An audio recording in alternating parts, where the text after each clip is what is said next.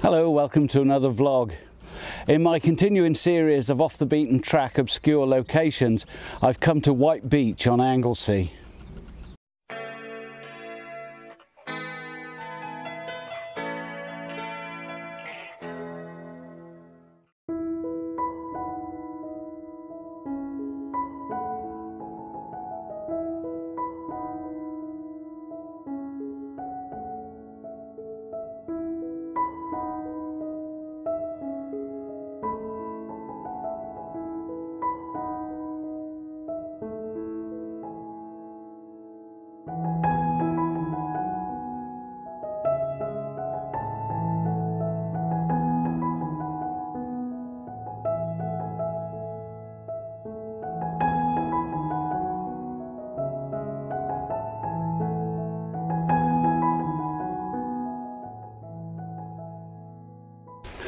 Well, these are really unusual conditions for Anglesey. It's not often it's flat calm like this.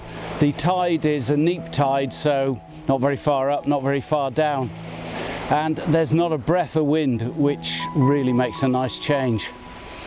So, White Beach, it's in the middle of nowhere. It really is obscure, probably one of the most obscure places I've covered so far. We're actually only about a mile and a half or so from the lighthouse at Penmon. Uh, so we're right out on the eastern peninsula of the island and the bay faces pretty much due north. Today it's absolutely flat grey. There's really nothing in terms of features in the sky. But that doesn't matter because I'm really not worried about that. My reason for coming down here, apart from showing you guys this fabulous location, is to try and shoot some rock because that's the subject for this month's challenge on the Facebook group Landscape Photography on YouTube UK. Nearly got it wrong there. So, I'm not going to be short of subject material here. There's plenty of rock about. It's just a matter of what I do with the composition. Because with the light being so flat, obviously the sky isn't going to feature much. So we're going to be looking probably at detail shots, textures, and possibly colours. Uh, because even though there's very, very little interesting light, the fact that it's flat grey means there's no harsh shadows. So we can make the most of textures and not lose detail in the shadow areas. So I'm going to have a, a good scout around and let's see what we can find.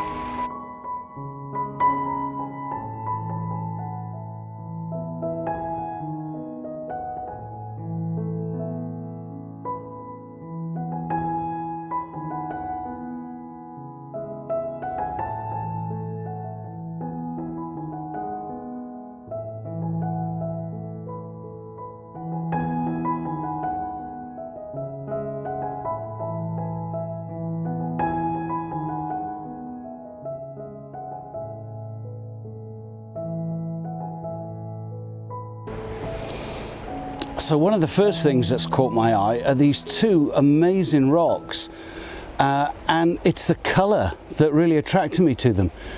They're bright red in places and yet there's no other rocks even similar on the entire beach. So I'm really not sure though what I can do in terms of a composition. But the way the one rock is resting on the other, I mean, there's got to be something in it surely, but I really don't know what yet. Um, I've had to come up onto this ledge. As you can see, I've climbed up a bit from the beach again, and it was as slippery as hell, so God knows how I'm going to be able to get back down, but, but that's the, the trouble you go to as a landscape photographer. I think I'm going to set the camera up here and having found a great subject, all I need now is a composition to go with it. Right then, I've got myself all set up. I've had to squeeze into an impossible corner, extremely undignified for a gentleman of my age.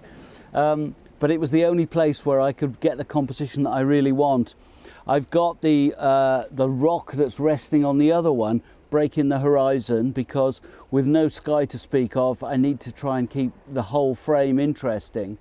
I've got the far headland at the other end of the beach, the curve of the beach itself on the right hand side, and I've also got Puffin Island in the composition. Now it's going to take a bit of Photoshop magic to do something interesting with the sky. I'd really like to be here during a sunrise or a sunset and that'd certainly be on my list to come back. Um, I'm shooting at f9 and I've got a 10 stop ND on So I'm getting a shutter speed at the moment of about 15, 20 seconds, something in that region. Um, and that's because in order to really capture the peaceful ethereal nature of today at this particular location, I want that sea really smoothed out. Um, it wouldn't take much to smooth it out because it's almost a flat calm, but I think it enhances the composition. And looking on the back of the camera, my test shots, I think a long exposure is the way to go with this. So I'm going to take quite a few more shots here because I'm going to have to focus stack. I deliberately wanted to shoot at f9 instead of going for a really small aperture and expanding the depth of field. That's because f9 is the sweet spot of this lens and with this shot being all about foreground texture um, I really want it as sharp as I can possibly get it. So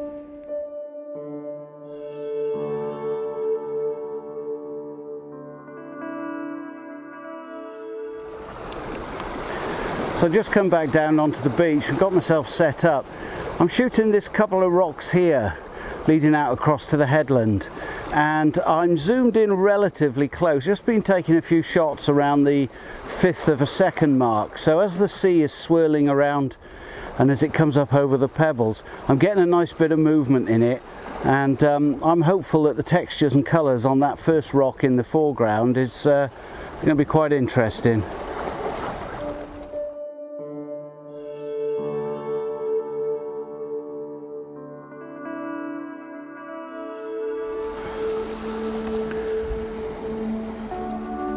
So this is the view from my pit stop. Ignore the camera, I am for now. And just enjoying the view. This uh, this landscape photography malarkey, bloody marvellous. So I found another subject that I'm really interested in. It's the way all of these white pebbles have been thrown up by storms and are now wedged in the cracks in this rock. Now it's going to be tough to really feature these stones. There'll probably be a lot of dodging and burning necessary. Um, but what I've done is I've set myself up back here to shoot at 35 millimeters and I'm getting in that headland as well because I really quite like the way the rocks on the outcrop are uh, silhouetted against the sky. They're quite an interesting shape. I'll probably move in and try and get some close-ups of, of these white stones, but this is the shot I'm working on at the moment. 35 millimeters, about a sixth of a second at f18.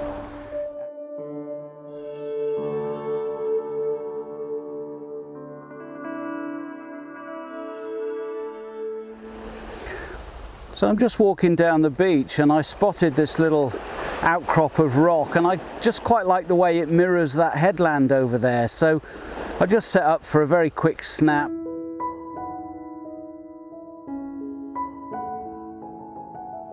Okay, so I'm set up for what I think is going to be the final shot of the day. Um, and I finally got a bit of detail in the sky, way over in the west. Um, far too early for sunset, but what I've got is a, is a series of layers. I've got rock in the foreground down here with some green stuff growing on it. Another outcrop of rock over the far side by that headland where I was at the start. Um, and then the further headland right over towards Benllech, Red Wharf Bay. Um, and I kind of like the way the rocks and the beach lead you through the layers as a sort of S-curve. Um, and I, am quite enjoying this one. I like the composition. Technically, it's dead easy. It's a really simple F18 shot, um, about a quarter of a second, no bother at all. I'm just focusing on that second outcrop just over there and it's giving me all the depth of field that I need for this shot.